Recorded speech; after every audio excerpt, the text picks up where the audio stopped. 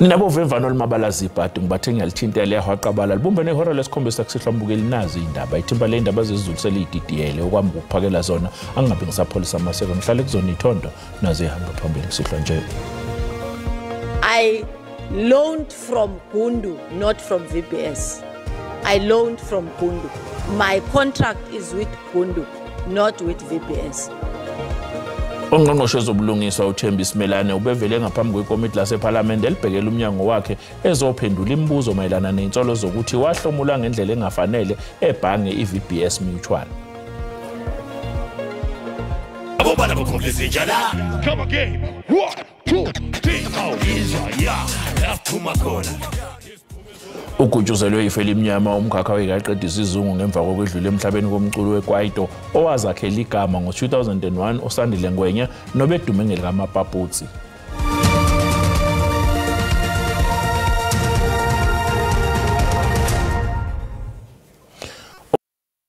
lelizo usuphinde wagqameka udume lwengozi wasibekelwa ife elimnyama ngemva kokwedlula emhlabeni kobe umculo wekwaito usandile ngwenya obedume kakhulu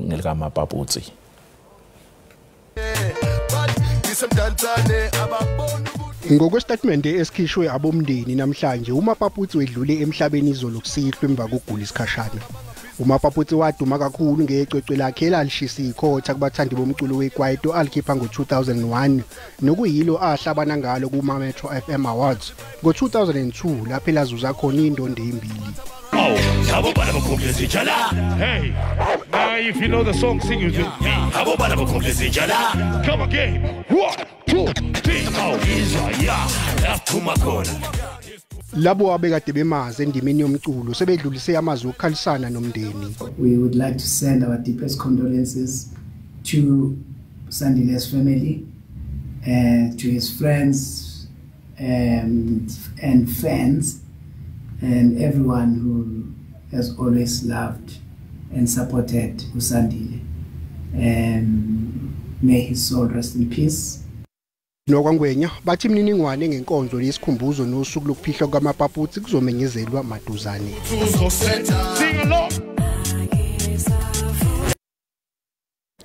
ungqongqoshe ezobulungiswa nokuthuthukiswa komthetho-sisekelo uthembi simelane utshela amalungu ephalamende ukuthi akanacobho odabeni lokubhubhudlwa kwemali yebhange i-vbs mutual ubebizelwe ekomidini lephalamende namhlanje ukuze azocacisa kabanzi ngohafu wesigidi samarandi awuthola njengemali mboleko enkampanini enobudlelwane ne-vbs mutual I have nothing to hide. That's why I am here. Akaguquki kwakushoyo ngokuthi umsulu udabeni lwezigemegeme zebhange i-VBS ngesikhathi seyimeya epolokwane ngo-2016 umasipala wakhe wawufake imali engu-349 miliyoni yamarandi kuleli bhange leyimanga.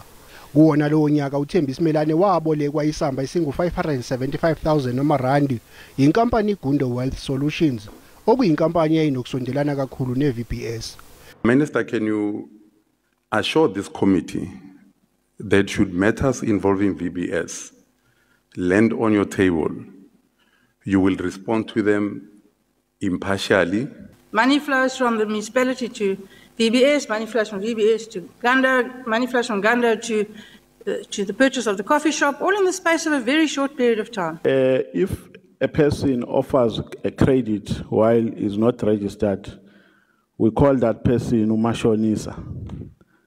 Will I be correct if I say you borrowed from umashonisa? I would also say i- it's a movie which is always repeating itself.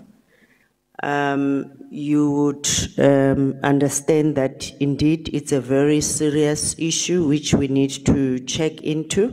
ungqongqoshe uvalelwe ekhoneni nangombuzo ukuthi kungani waboleka enkampanini engagunyaziwe ukubolekisa ngemali I loaned from Gundu, not from VPS. I loaned from Gundu. My contract is with Gundu, not with VPS. I regret the cause, the harm it has caused the people of a, a, a vendor in particular. odabeni ngesincomo sokuthi kuzofanele ashenxe esikhundleni kuze kuba kuphothulwa udaba lwakhe ungqongqoshe simelane uthe lokho kusemandleni ezinqumo zikamengameli wezwe Of cabinet yamajaji uRaymond Zondo uthi maningi amathuba okuthi ukuqhwagwa kwamandla ombuso kuphinde kwenzeke njengoba ingekho imizamo esiyenziwe ukunqanda lokhu esikhathini ezayo. Ijaji ngesikhathi enenkulumo ekhethekile nomhlelo wendaba zokubusa kwezwe la e-SABC umzwandile Mbeje. Enkulumweni ekhethekile ne-SABC obeyinhloko yamajaji iJondo uzwakalise ukukhathazeka malungana nokuthi azikho izinyathelo ezinqala lelizwe elinazo zokunqanda ukuqhwagwa kwamandla ombuso okungase kuphinde kwenzeke futhi uzondo uthi umengameli wezo uCyril Ramaphosa kusalindeleke ukuthi amemezele inqubekela phambili ngalolu daba he indicated that uh, there was a, a, a, a task team that would look at various possible structures. Mm. Uh, I'm not aware that it has finalized its job. Uzondo uphinde wazokalisa ukukhathazeka ngokushaya ngolonwabo kokushushiswa kwalabo abanindekayo ekuqhwagweni kwamandla ombuso.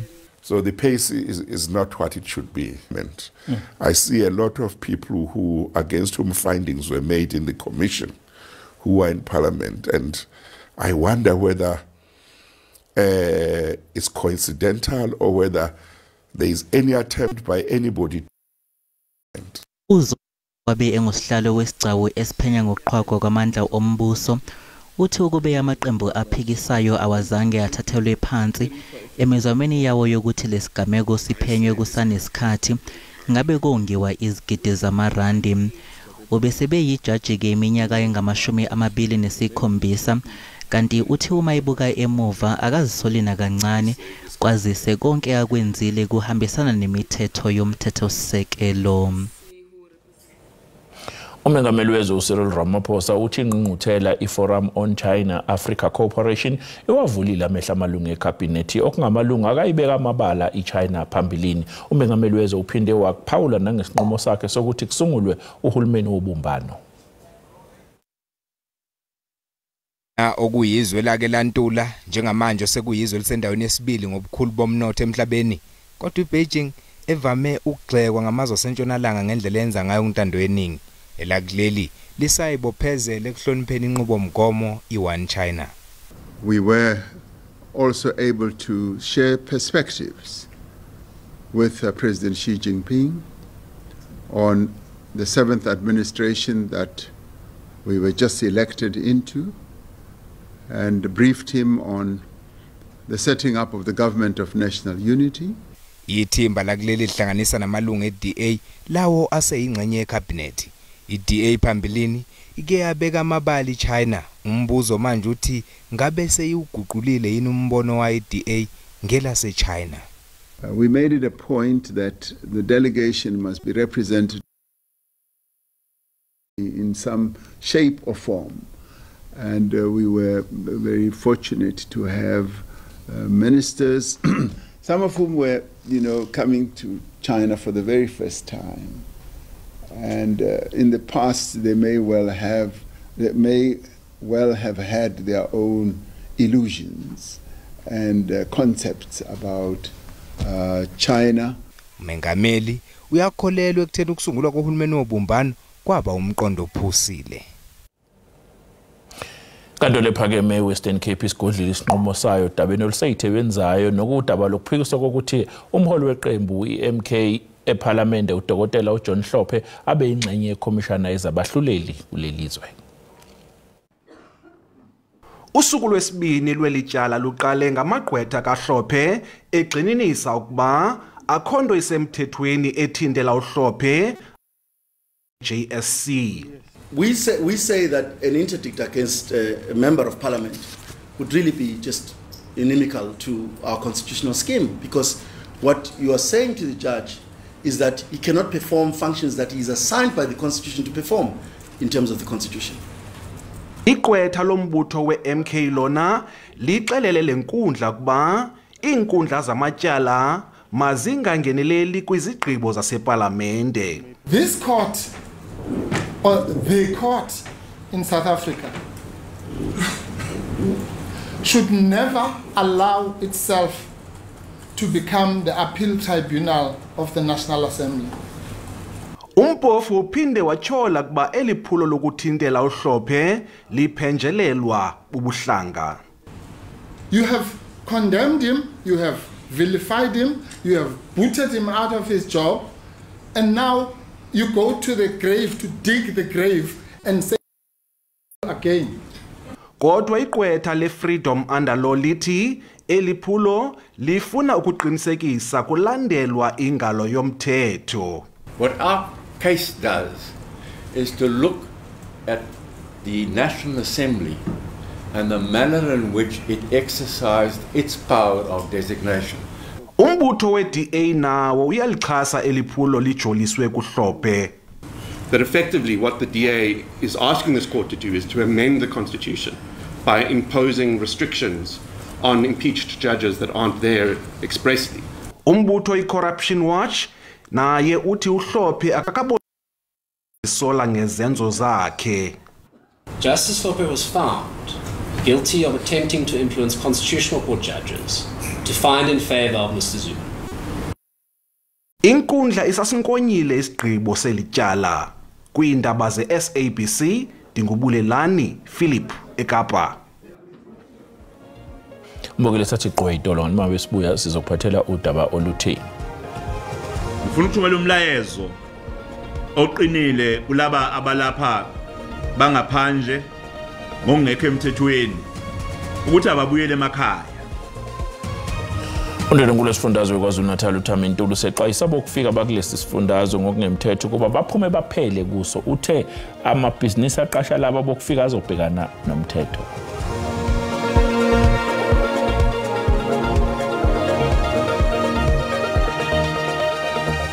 Asibingelela sikwamukele mbukeli uma ngabe usanda kungena odabeni oluphambili besibike ukuthi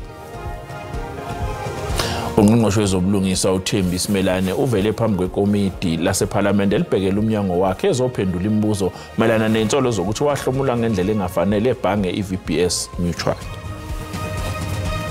Mbukela sikukhumbuze ukuthi lezi ndaba ikhona ku-youtube nakwe-sabc plus. Wena kumele ukwenze ngena kuzo uyicinga amagama athi sabc izindaba. Nakanjani uzoyithola njengoba zinjalo unkulu wesifundazwe kwaZulu Natal uThami Ntuli usexwayise abokufika bakulesiya sifundazwe ngokungemthetho ukuba baphume baphele kuso. Uthe amabhizinisi aqasha laba bokufika azobhekana nomthetho. Ukusho lokho ngesikhathi ehambisana namaphoyisa akwaZulu Natal kwaSithebe eMandeni. Ngifuna ukuthumela umlayezo oqinile kulaba abalapha bangaphandle ngokungekho emthethweni ukuthi ababuyele emakhaya. Uma befuna ukuba la kwaZulu Natali bayolanda imvume zokuba lapha kwaZulu Natali Isexwayiso esiqinile kulabo abaphula umthetho. uNtuli uthi amaphoyisa azosebenza kanzima ukunqanda zonke izenzo zobelelesi.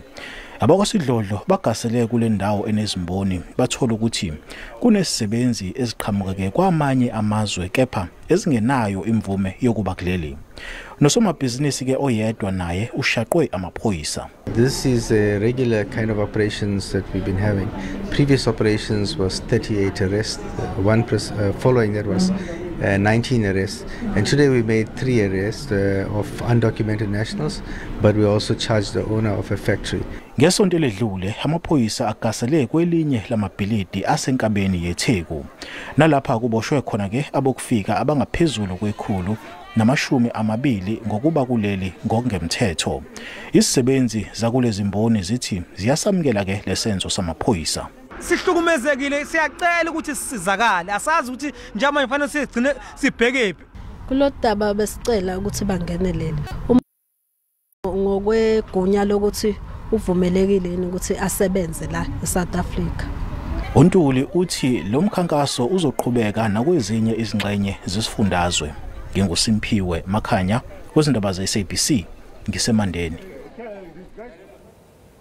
Izakhamuzi zaseGarankwe enyakatho yePitoli zithi ukulungiswa nokwakhiwa kwenxenxathela yezitolo yeyigidi zamarandi kule ndawo kubukeka kuyinto esekude ukuphela. Le zakhamuzi zithi lo msebenzi ubanjezelwe yiy'ngqinamba ezabhekana nenkontleka yokuqala kanye ney'gebengu zosomabhizinisi bakule mboni abafuna ukukhokhela ingxenye yemali kulo msebenzi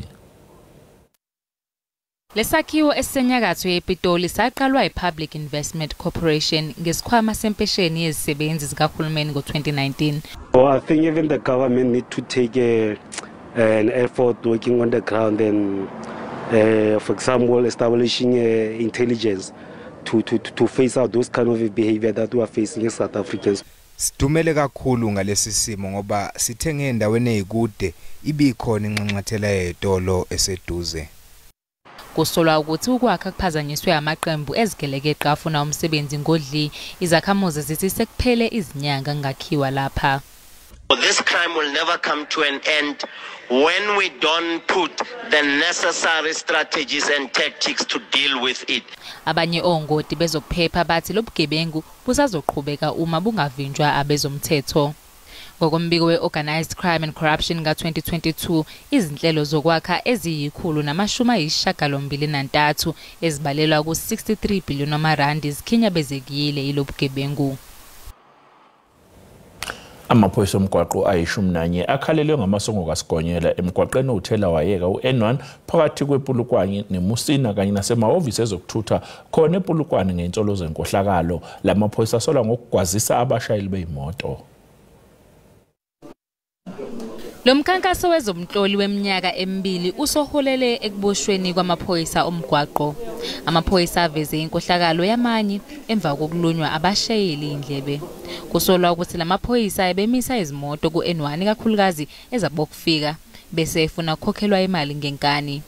Amaphoyisa athi anabo ubufakazi babasolwa. In terms of the investigation, remember it's uh, where they are extorting money from the people. If you have been arrested for violating a traffic offence instead of taking action against you then they distort your money iziphathimandla zomgwaqo nazo kulindeleke ukuba ziwaqondise izigwegwe lamaphoyisa Internally, we've got processes where we'll uh, start with our disciplinary processes. Uh, we'll wait to hear what, what happens. Probably they'll get bail, and then we'll then be able to take our processes further. i-RTMC nethemba lokuthi lokhu kuboshwa kuzothuswa namanye amaphoyisa omgwaqo enza ubugebengu obufanayo.